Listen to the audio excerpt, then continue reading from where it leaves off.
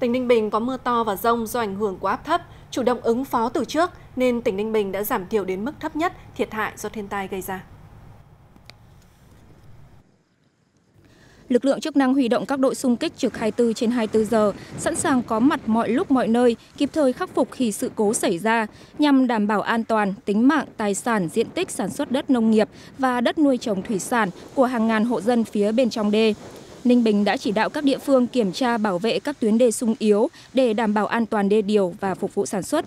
Các địa phương thực hiện công tác 4 tại chỗ, tổ chức lực lượng sẵn sàng cứu hộ cứu nạn khi cần thiết, yêu cầu thành viên Ban Chỉ huy phòng chống thiên tai và tìm kiếm cứu nạn các huyện, thành phố trực tiếp xuống cơ sở, nhất là vùng ven biển, đồi núi, đôn đốc cán bộ và nhân dân khẩn trương thực hiện đúng yêu cầu của tỉnh đề ra trong công tác phòng chống mưa úng sạt lở.